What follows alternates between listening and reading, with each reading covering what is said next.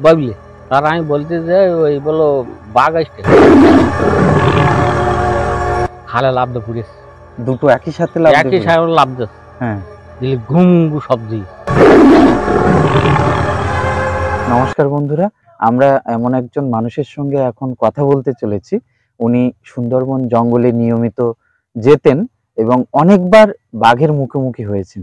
তো সমস্ত ঘটনা ওনার মুখ থেকে আমরা সরাসরি শুনে নেব। প্রথমে জেনে নেব আপনার নাম। আমার নাম বিমল বরকম দাস। আপনি তো সুন্দরবন জঙ্গলে দীর্ঘদিন ধরে যেতেন অনেকবার বাঘের মুখোমুখি হয়েছেন। হ্যাঁ, তো সেই ঘটনাগুলো সম্পর্কে যদি একটু বলেন। আমরা মারতে গেছি দন দিছে হুম। দন্দে যাচ্ছে। হুম। মধ্যে বাঘ ছুটে গেছে। ছুটে এসে জলে ঝাঁপতে পুড়ে হ্যাঁ। আমরা ছুটে এসে বেরিয়েছি লোক বাই বাবা নৌকোতে কতজন ছিলেন তখন? তিনজন। তিনজন দোনের নৌকোতে দোনের লোক। আচ্ছা, নৌকোর উপরে কোনো আক্রমণ করতে পারেনি? লোক আসল মধ্যে ও আসছে ঝাঁপ দিয়েছে পর জলে পড়ে। ও নৌকা পর্যন্ত আসতে পারেনি? পারে তার আগেই আপনার নৌকা উপরে চলে আসছে আচ্ছা তারপর বাঘটা কি করল? তারপর আমাকে যখন না পাইলি তখন আস্তে আস্তে কুলি উঠে গেল। হাতা গাড়ি বুঝলো এইভাবে। আচ্ছা। এবার বুঝছে আমাকে দিকে আবার লোক বাড়ি গিয়েছে আমরা সে দোন তুলতে পারিনি। ও দোন কেটে চলে আসতে হ্যাঁ। হয়েছে। আর একটা ঘটনা বাড়ি আসছিলাম। বিকেলে।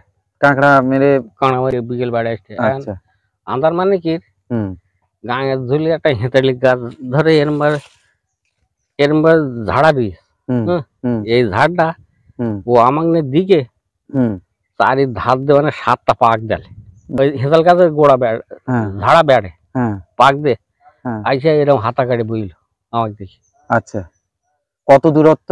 আপনাদের নৌকো থেকে? আমরা ধরো ইয়েতে ওইরকম ওইরকম ধরো ওই খেতে মাঝখানে। হ্যাঁ।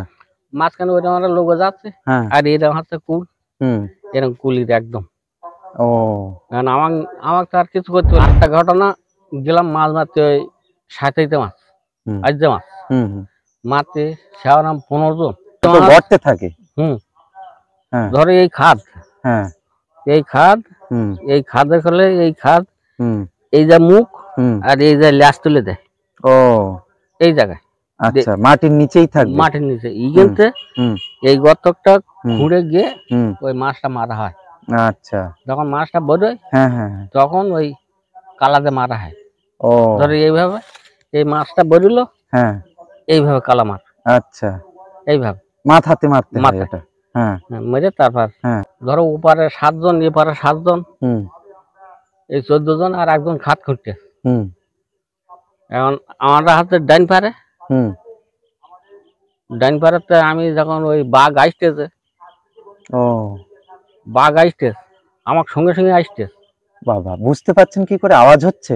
আওয়াজ হচ্ছে যখন হাঁটে ওরা হ্যাঁ। তখন চটপট চটপট শব্দ হয়। আচ্ছা। এখন আমার ওই যে গুণমান হুম। যে বাবলি হুম। তার আমি বলতে যে ওই বলো বাঘ আসতেছে।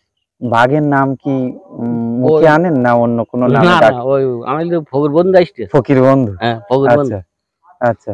তা বলতে সে লোক বলছিল হ্যাঁ তোমার সব জায়গায় ফকির বন্ধু আসে। হ্যাঁ। আমি হ্যাঁ আসতেছে।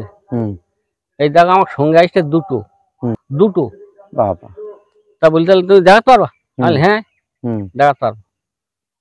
তারপর ওই বলে মাছ পাচ্ছে হোটেল মাছ পাচ্ছে আচ্ছা। মানে হাত আমতর মাছ বুঝিস? বাবা সব ওই ও একই মাছ আজ্জে মাছ? সব আজ্যে মাছ। আচ্ছা। এখন গিয়ে পুড়েছে? এখন আমার লক্ষ্য বলে আমার মাছ দিয়ে লক্ষ্য না আমার লক্ষ্য হচ্ছে ওপরে।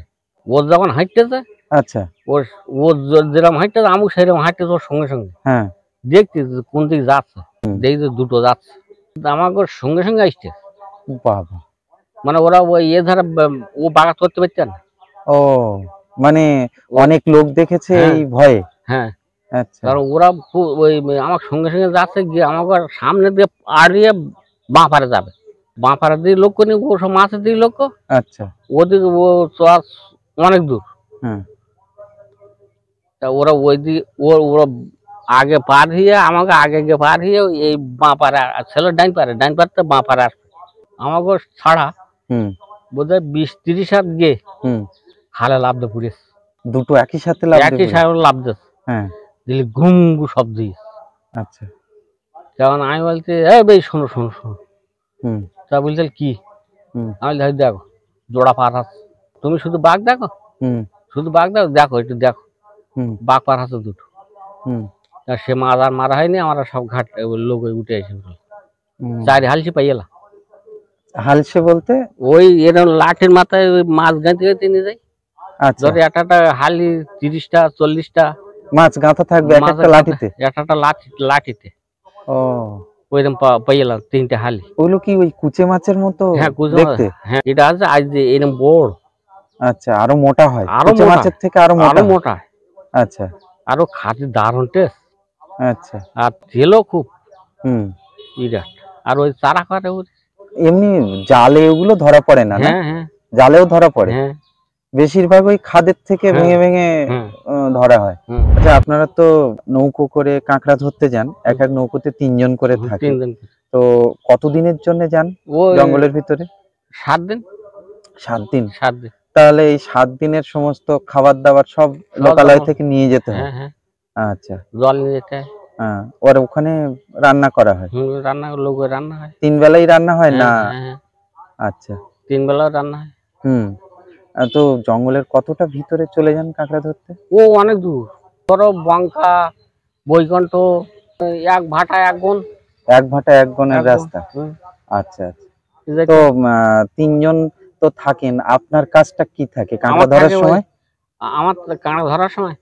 আমার থাকে ডরা আচ্ছা। ওই রান্না বান্না করা হ্যাঁ। ওপর জল দেওয়া হ্যাঁ। কাঁকড়া তোলা হ্যাঁ। কাঁকড়া বাঁধা। ও এরকম সব কাজ ভাগাভাগি করা ভাগাভাগি। করা। আমার হাতে ওইতে এই কাজগুলো আপনার আমার করতে হবে? রান্না বান্না সব করতে ও হবে। রান্না বান্নার দায়িত্ব একটা বড় দায়িত্ব। হ্যাঁ। আচ্ছা। ও তিন চার গরম দিতে হবে। হুম। আমার ভোর ভোর হবে আমার থালা কড়া মাথা হয়ে যাবে। হুম। হাতে দোন দেওয়ার দরকার হয় দোন দেবে নাই। তাড়াতাড়ি করে ওই সঙ্গে সঙ্গে ভাত চাবিনে হয়ে যাবে। আচ্ছা। এদিকে দোন দেওয়া হবে আবার হ্যাঁ। ওদিকে তরকারি রান্না হবে। হ্যাঁ।